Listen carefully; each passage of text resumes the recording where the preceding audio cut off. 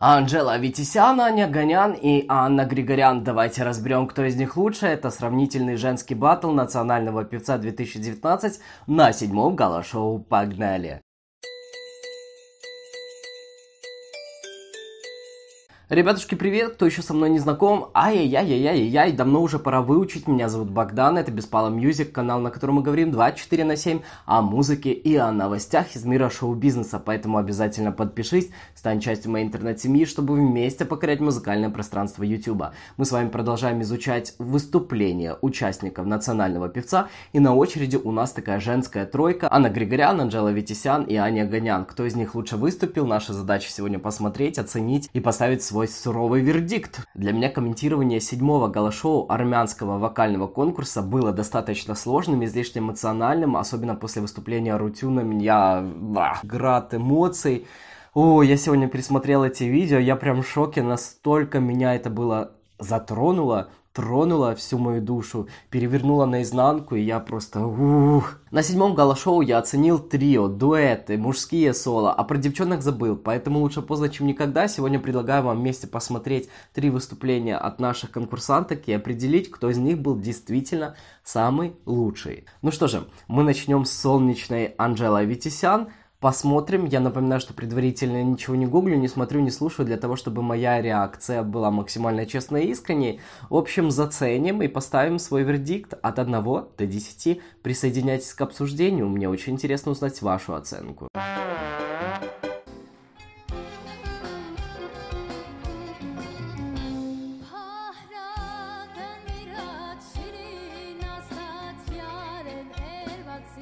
Но мне нравится тут ее подача, она начала очень спокойно свое выступление.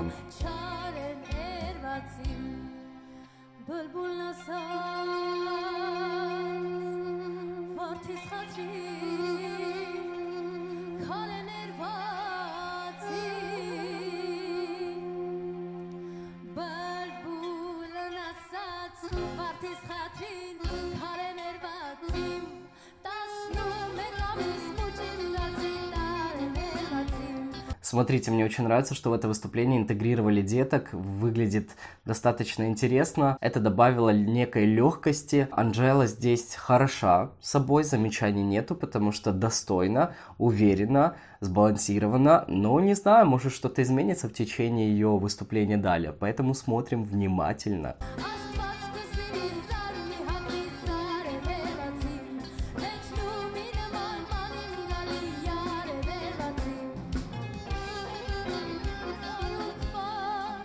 Мне очень не нравится, как смонтировали выступление Анжелы. Есть динамика, есть объем э, в кадре. О, нотку. Взяла, молодец.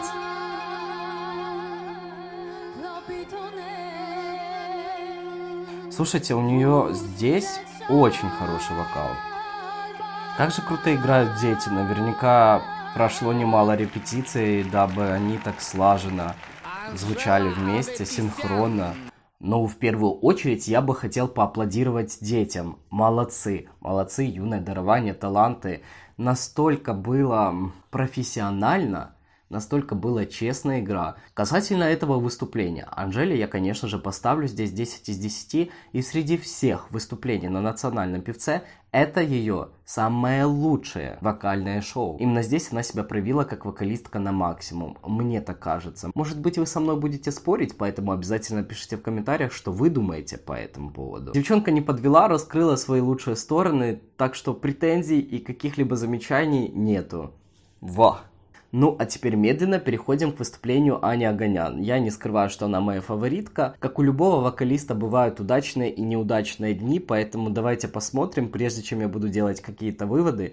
Мне очень интересно посмотреть, как она будет нести свою энергетику, насколько будет органично в кадре, насколько будет уверенно звучать ее вокал, какая будет опора, будет ли хватать дыхания. В общем, все эти мелкие детали очень важны, в них нужно слушаться, смотреться, так что погнали.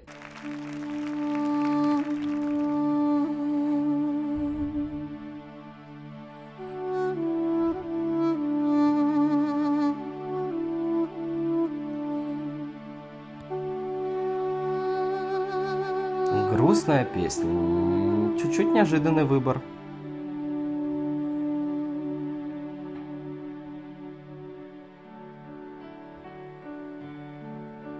Ну, Анне роскошно, как всегда.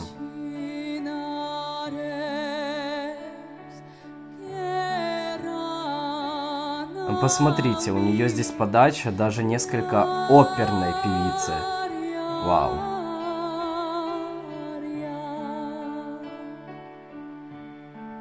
Ой, посмотрите на арпе, что-то она чуть-чуть заплыла. Лицо ее поплыло. Может, не выспалась бедная. Меня всегда смущает выбор таких баллад, потому что в них ты можешь либо раскрыться, либо потеряться и провалить номер. Но пока что Анне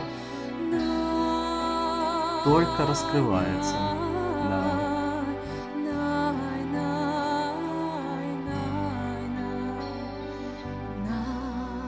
Но уже хочется какого-то музыкального развития далее.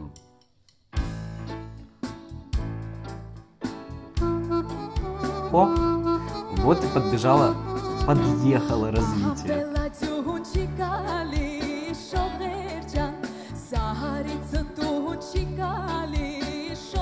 Чуть-чуть, чуть-чуть, мне кажется, дрожит голос. Вот капельку. Как-то засмутилась Аня в этом переходе от лирики, наверное, она погрузилась в эту атмосферу. Тут бух, надо уже вот это все делать, поэтому какие-то дву, двоякие эмоции у меня сейчас. Но давайте досмотрим, и тогда поставлю свой финальный вердикт. Угу.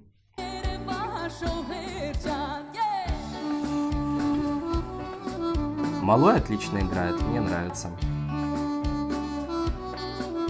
И снова еще один переход. Да.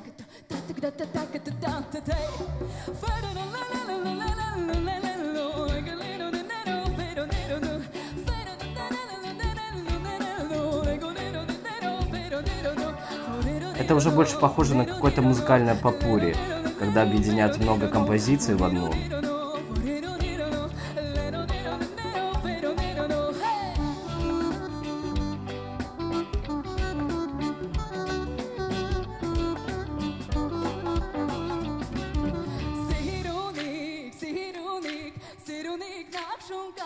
Я даже не могу комментировать, потому что погрузился в атмосферу. Мне нравится актерская игра и эти переходы настолько артистично предложена нам сама подача этого номера. Ай, класс.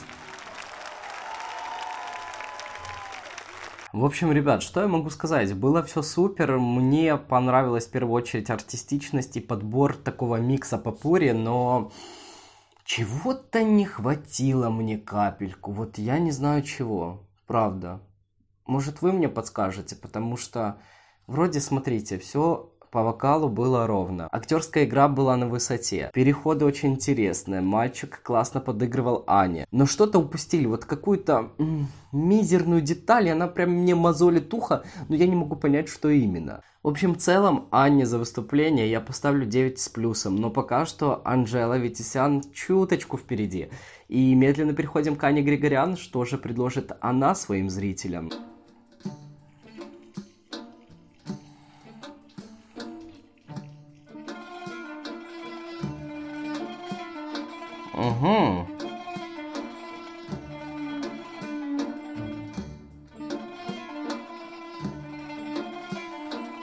Очень интересный номер.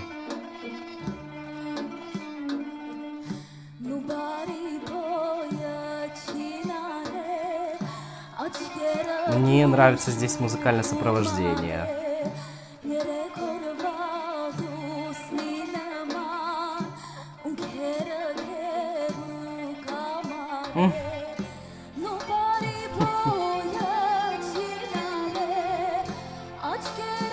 Вот одна из девочек, которая играет, безумно похожа на Карину Игнатян. Вот ей-богу. И, и на дочку Алсу.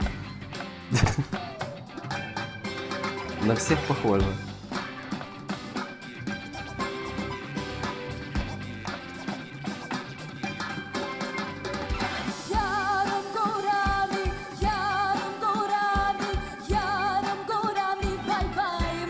И пошло развитие.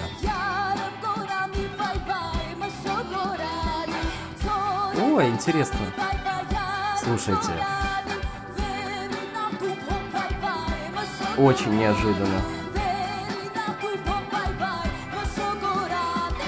Всегда выступаю яростным поклонником таких вот музыкальных переходов неожиданных, потому что это добавляет драйва, энергетики и тебя втягивает. Ты хочешь смотреть, и зрители сразу оживают, и все же ждут, а какое будет развитие, продолжение дальше. Потому что песня это в первую очередь про чтение. Это не о крутом вокале. Конечно же, вокал должен быть голос человека, но в первую очередь первую очередь. Это прочтение. Это рассказ, эмоциональный рассказ истории. И ты сам своим голосом в качестве инструмента определяешь, где расставлять какие акценты и что именно ты хочешь донести своему зрителю. У Анны с этим проблем нет, она очень справляется, поэтому смотрим дальше.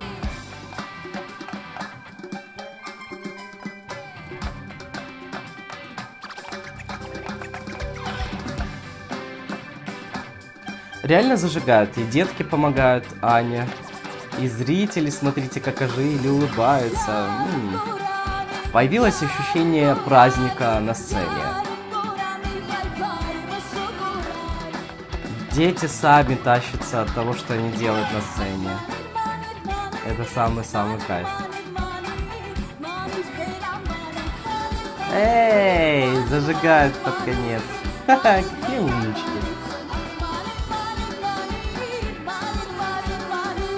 Пожалуй, это самое атмосферное выступление за сегодня на седьмом гала-шоу.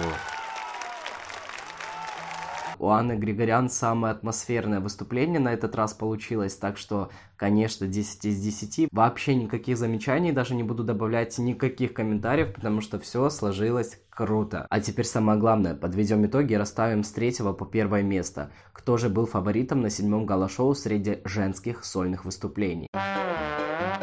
Конечно, вы будете не ожидать такого поворота, но на третьем месте я поставлю свою фаворитку Ани Аганян. Чего-то не хватило, чего-то где-то не додала, поэтому м-м, капельку уступила своим конкуренткам. На второе место я поставлю Анжелу Аветисян. Очень здоровски поработала, раскрыла себя как вокалистка, но это было, как обычно, стабильно хорошо, ничем не удивило. И первое место, как вы уже поняли, достается Ане Григорян. Здесь была атмосфера праздника. Вот позвольте мне прояснить, объяснить, почему я выбрал именно Анну. Атмосфера праздника, энергетика, актерская игра не только героини, но и деток, которые играли. Красивая естественная мимика у детей, у Анны.